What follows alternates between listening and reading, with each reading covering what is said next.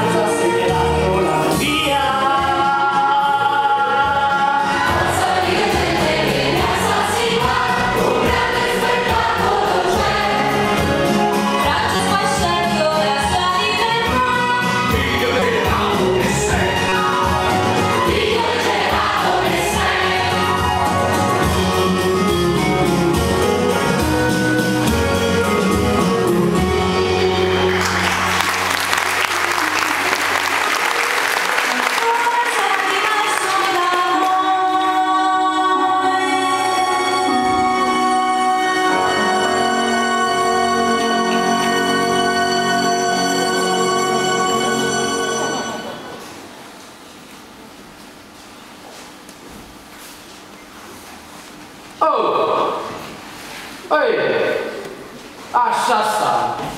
Questa è roba mia e tu sei ladra più di lui! Eh! Uè, ma che mi volete far rimanere incinta?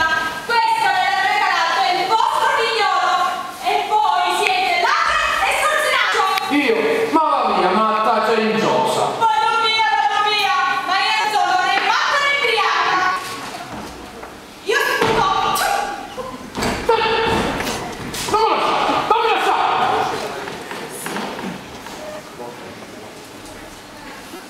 Ecco qua. Che fine fa la roba mia? Le perle ai porci. Anzi, le perle alle porche! Eh, Ma che ne sapete voi di quanto sudore c'è qua dentro? Per questo velluto andai in Francia a comprarlo. Per questo lui, mamma mia, per questo qua un giorno contrattai sul prezzo e tira e molla e tira e molla. E lui cosa ha fatto? Me l'ha rubata una pezza intera. Sapete per farne cosa? Per regalarla. Per regalarla. E sapete a chi? Ai lebrosi questa bella seta sulle bustole dei leprosi. Mamma mia, ma non gliel'ha mica mandata, no? Gliel'ha portata di persona, perché io capisco anche a fare della beneficenza, anche io ho mandato delle stoffe vecchie, degli scampoli, delle scarpe bucate al lebrosaio di Foligni, ma portargliela no. Oh, lebrosi, puzzano, e lui, sapete cosa ha fatto? Dopo averne scelto uno a Barbacici, lo ha preso, lo ha vestito, gli ha tagliato addosso questa bella seta, lo ha abbracciato e mua, lo ha baciato. Questo, secondo me, come dite voi oggi, è esibizionismo, sì, perché dico io baciare proprio un lebroso, con tanti altri malati gravi che ci sono nel mondo, dico io, perché non baci uno con l'ernia strozzata, che almeno è pulito, oppure uno con la diabete, o ancora meglio, perché non baci uno con le emorroidi così non viene tenendo nessuno? No, lebroso fa notizia, perché fra 100, 200 anni arriverà un pittore e metterà sui muri Francesco che bacia il lebroso. Figuratevi se ci può essere mai un pittore che verrà a mettere sui muri Francesco che bacia uno con l'ernia strozzata. Eh. E poi lui mi parla di umiltà. Umiltà. Mamma mia, ma io so cosa fare. Io lo so. Lui mi parla di umiltà. Ora voglio sapere da voi cosa deve fare un, un povero padre come me. Ma io la soluzione al problema ce l'ho. Ora vediamo.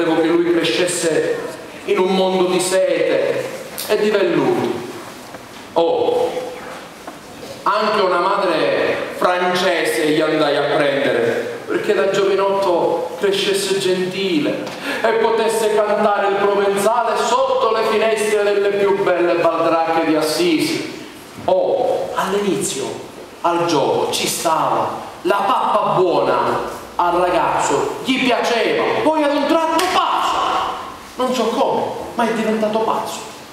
Oh, io da buon padre le ho provate tutte, tutte. Prima gli ho parlato, poi mazzate, legnate, catenate, pedate in bocca, pugni, ma niente, pazzo.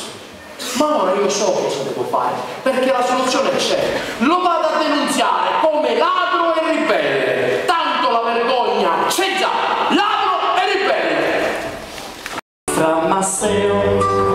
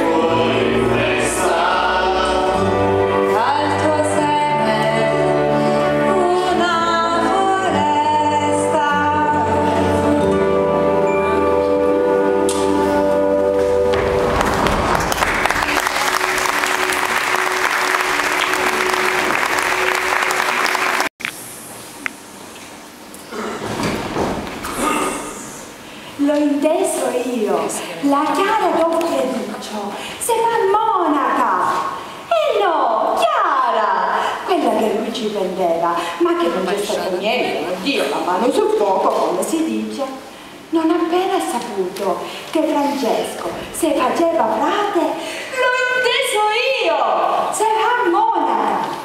Ma no, monaca come quell'altra, si è inventato un convento per conto suo. Lo diceva l'oste del gallo, che gliel'aveva detto la serva del convento, che gliel'aveva detto una insomma. Appena dice la gente,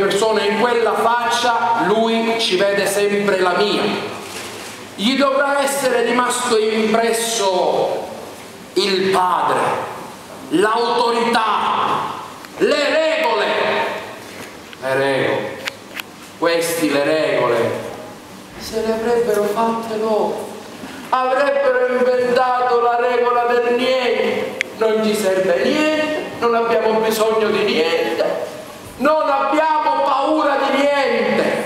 Ma come paura di niente? Se tutti noi abbiamo paura, tu, tu, eppure tu, tutti abbiamo paura, e loro non hanno paura di niente. Eh, non hanno paura di niente.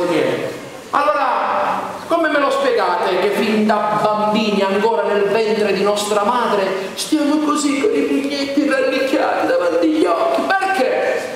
Perché? Per paura. Per paura di dover nascere. La vita spaventa Oppure perché da poppanti ce la facciamo sotto? Per paura di quello che ci aspetta da grandi. Eh già. Una domanda. Secondo voi io, Pietro di Bernardone, gran mercante di Assisi, perché sono diventato ricco? Eh? Sapete perché sono diventato ricco? Per paura di essere povero. Eh, e allora lì ad ammucchiare i lucchesi d'oro nel 1200, ora si chiamano euro, ma allora erano i lucchesi d'oro, l'unico amuleto che tiene lontana la paura. Io sono questo, ricco, potente. Loro invece hanno la regola del niente. Ma dico io, com'è che si può dire che non ci serve niente, non abbiamo paura di niente? No, amici miei, la vita spaventa. Tutti i fratelli, tutti i fratelli, io fratello, tu fratello, che vuol dire fratello? Caino non era fratello e voi, dopo Caino, vi fidate ancora? Io, io non mi fido di nessuno. Fidarsi. Che significa fidarsi? Io sono un mercante, non mi fido di nessuno, non ce l'ho scritto sulla porta della bottega, ma qua sulla fronte non ti fa credito a nessuno. Ma mi potreste dire, ma come? C'è la vita, c'è l'amore, c'è il cuore, ma cos'è il cuore, cos'è l'amore? Ah, ogni tanto mi capita di andare in chiesa con la mia moglie francese e sento dire delle belle parole, una frasola. Ama il prossimo tuo come ami, come ami, come ami. Non abbiamo tanta competenza di chiesa, eh? Ripeto, perché nel copione sta scritto una da dire uguale. Ama il prossimo tuo come ami.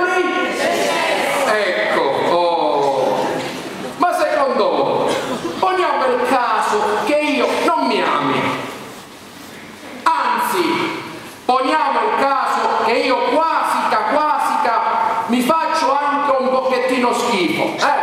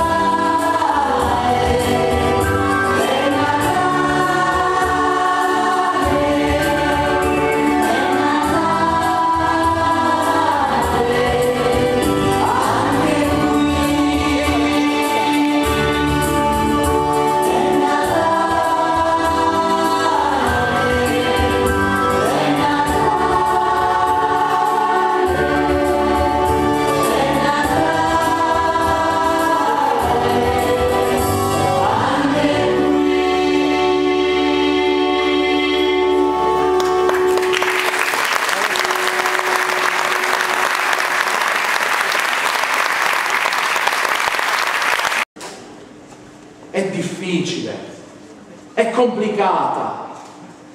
Oh, può essere il dubbio al massimo, ma non la fede, perché il dubbio ce l'abbiamo tutti. Ce l'ha lei, ce l'ha lei, ce l'ha pure lei.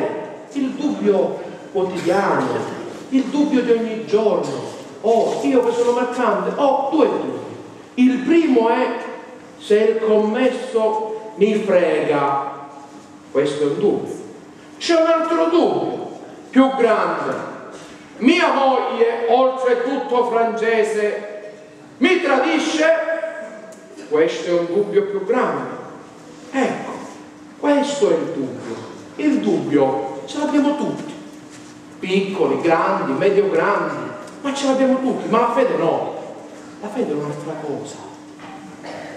La fede è quella cosa che ti entra in testa e non ti fa dormire la notte, non ti fa mangiare, ti fa piangere, ti fa ridere. È una cosa grossa. La fede è una parola grossa. Perché se avessi sbagliato tutto, eh? Io, Pietro di Bernardone, ho sbagliato tutto, mio figlio ha ragione, sì, va bene. Questo è un dubbio. Ma anche lui però ha il dubbio. Se ha sbagliato tutto, se non ha capito niente, anche lui ha questo dubbio. E se ho sbagliato tutto. Questo è il dubbio, non la fede. La fede è un'altra cosa.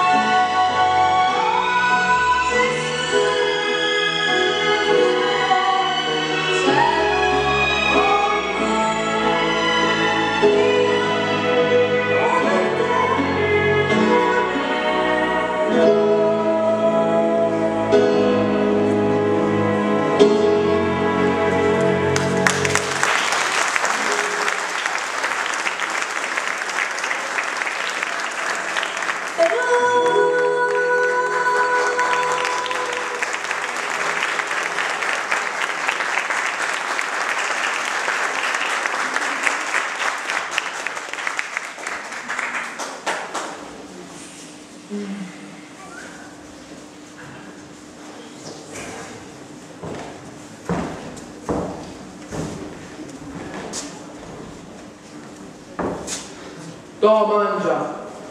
Uh, il pane! Ti piace il pane?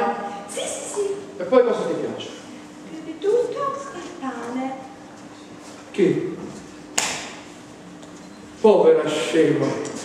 Perché le sceme sono sceme? Che domande sceme. Lui che mangia? E lui più di tutto mangia il pane. L'hai visto mangiare? Io lo ricordo quando era bambino. Mangiava pasticcini parigini, faraone farcite. Ora mangia il pane. Cengiosa, ma tu, da, da morce, quando muoro io, dove mi manderesti? In paradiso o allì? All'inferno! Perché? Oh, ho mandato il pane! Eh, perché mi manda all'inferno? Ripensaci, mi manderesti in paradiso o a... All'inferno! Perché pesate troppo e se andaste in paradiso caschereste giù subito, tanto vale allora andarci subito. E certo, e tu invece dove vai? In paradiso? No, no, io resto qua, io mi trovo bene qua. Perché ti nascondi il pane? Non te lo mangi? E che devi fare questo qua? Lo porto a lui. Oh, ma se lui vuole, io di pane ne ho tanto, io lo posso portare, io lo mando. No, no, no, è il mio più buono. E perché chi te l'ha dato quello? È il mio più buono. È mio. Ecco cosa dovevamo fare. Dovevamo dargli il pane. E qui lo sbaglio. Perché le faraone farcite sono sberle. I pasticcini parigini sono catene. Le premure di un padre sono catene. Il pane dovevamo dare a questi nostri figli, non le premure. Il pane. Prima mangiava le faraone, non mangiava mai pane, solo con panatico. Ora il pane ed è più buono delle faraone. Le premure di un padre sono catene. Valle a capire tu, sti figli. Io porto a Francesco. Il mio è più buono.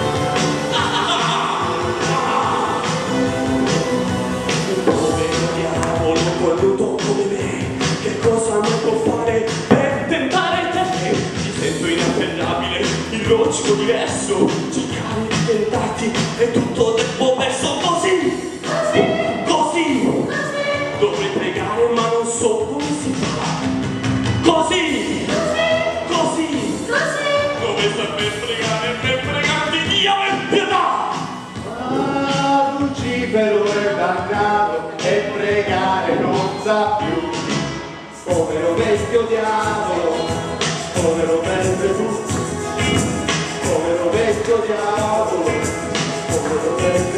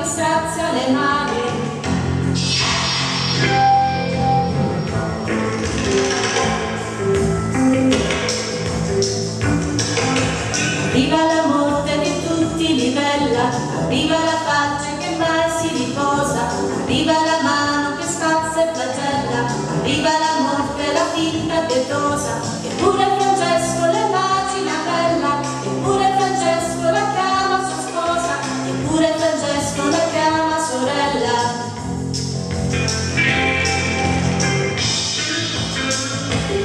Sorella morte dolorosa bellissima, sorella morte che da male ci liberi, Sorella morte che ci bagni di lacrime, sorella morte che di cielo ci illumini, sorella morte che ci vesti da vedove, sorella morte che ci porti tra gli angeli, sorella morte che demoni le lapidi, sorella morte che spalanchi l'eternità.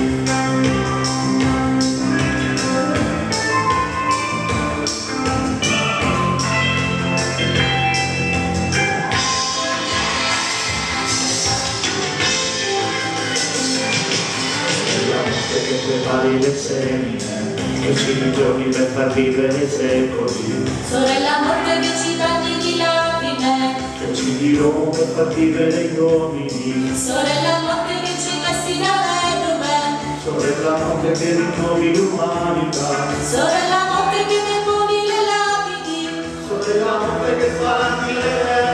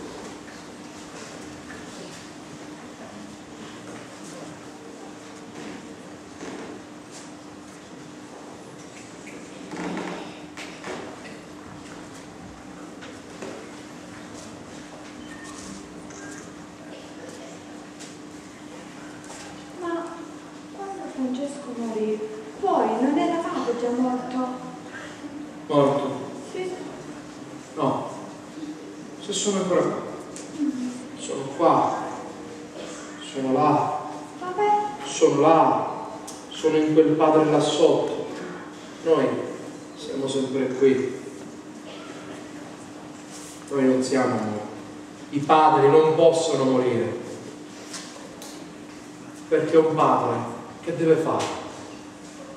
Deve ragionare. Un padre ragiona, non fa poesia un padre. Che cos'è la poesia? io lo so, però è bella. Ma che bella è la poesia! Bella. La poesia non è affatto bella. Sai cos'è la poesia?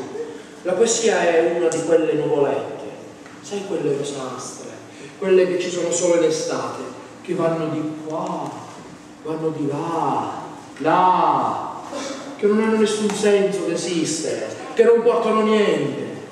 Non sono come i nuvoloni grossi, pieni d'acqua, in grado di fare le tempeste, di far crescere le terre. No, quelle nuvolette sono leggere, che vanno là su nel cielo, che tu se ti giri un attimo e ti rigiri per cercarla neanche la trovi più perché scomparsa. Sì, ma sono le più belle. Le cose belle lo devono dimostrare con i fatti. Le cose belle sono le cose che contano. Le cose belle sono la potenza. Le cose belle, la matematica. Come due più due fa cinque. Ma non fanno parte. No, perché se no non è un affare. Ah, ma se l'hanno fatto santo. Dopo, dopo, dopo sì che l'hanno fatto santo, ma vanno a capire prima, con la povera testa dura di un padre, che il suo figliolo pazzo lo faranno santo. Sì, guarda, là c'è un signore che tre giorni fa il figlio gli è scappato di casa. Vai, vai da quel signore, va sotto. Vai, vai, vai. E gli vai a dire, senta signore, guardi, stia tranquillo, suo figlio, quello pazzo che è scappato di casa, fra cent'anni lo faranno santo, non si preoccupi, fu assassino, no, vaglielo a dire, vaglielo a dire. Un padre deve fare la sua parte, un padre deve dire al figlio, va, lavora, guadagna, fatti furbo, ruba, cresci in potenza, non con la poesia. Deve dire al figlio, frega il prossimo tuo come lui vuole fregare te stesso. Questo un padre deve dire al figlio, non deve fare poesia. Ma se l'hanno fatto santo e ora tu lo sai, ma non sei contento. Non sono contento, non posso essere contento, non voglio essere contento, perché lui non mi può fare essere contento, perché io ragiono e lui canta, io ragiono e lui canta, io ragiono e lui canta.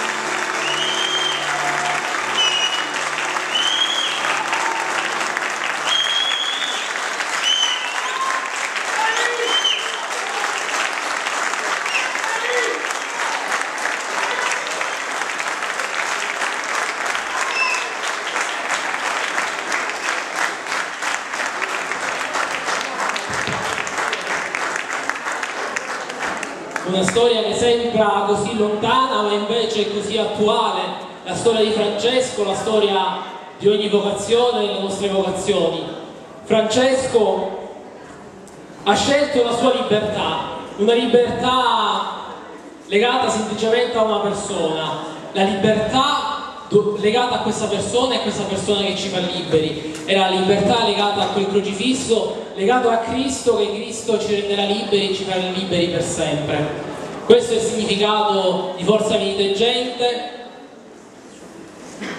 il significato della nostra fede, la forza della fede, la fede che ci porta al vero amore, alla vera libertà, alla libertà insieme, uniti in Cristo. Passiamo subito alle presentazioni.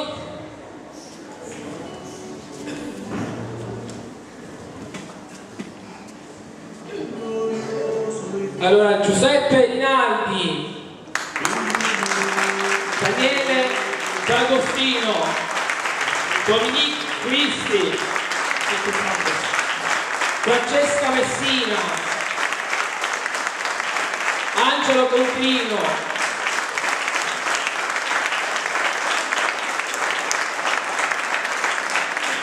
Valentina Geraci,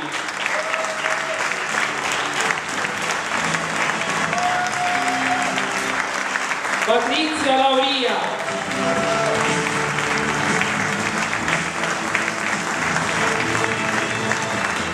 Adriana Pachino,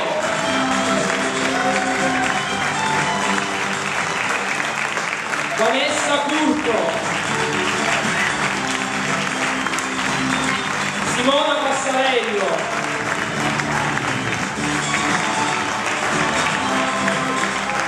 Angela Maria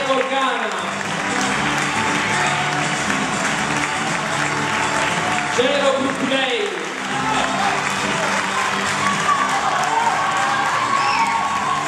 Francesca Tardo,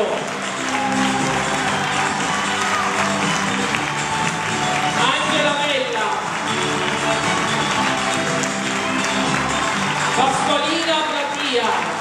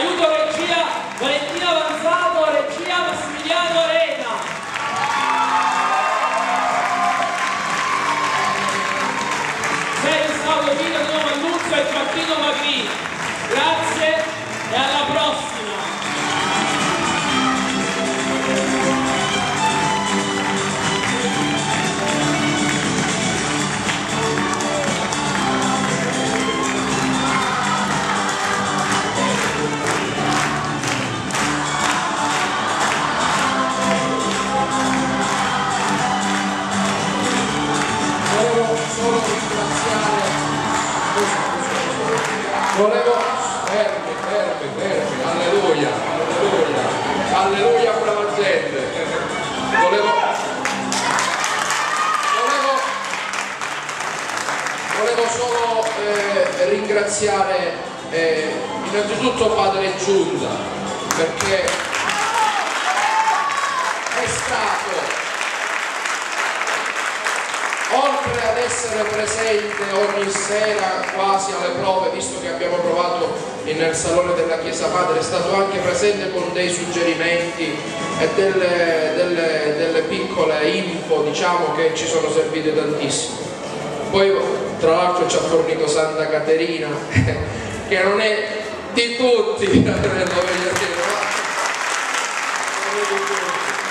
Poi-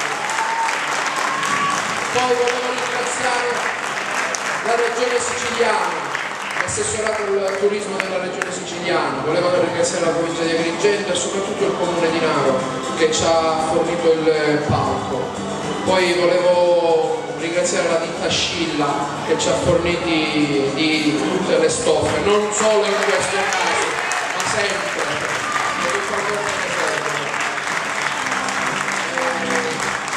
ringrazio voi, voi e le persone di ieri sera. Purtroppo abbiamo finito, non ci sono più repliche. Ci vediamo poi avanti, prossimamente. Ah, dimenticavo. Ieri sera l'abbiamo dimenticato per l'entusiasmo della serata che ci ha preso un po' tutti. E volevo eh, ricordare a chi abbiamo noi dedicato questo musical. L'abbiamo dedicato a un uomo che eh, grazie al suo lavoro eh, fatto durante gli anni del suo papato ha dato la possibilità a molti giovani di, di essere più, più sicuri di far parte della Chiesa. Questa persona è Giovanni Paolo II.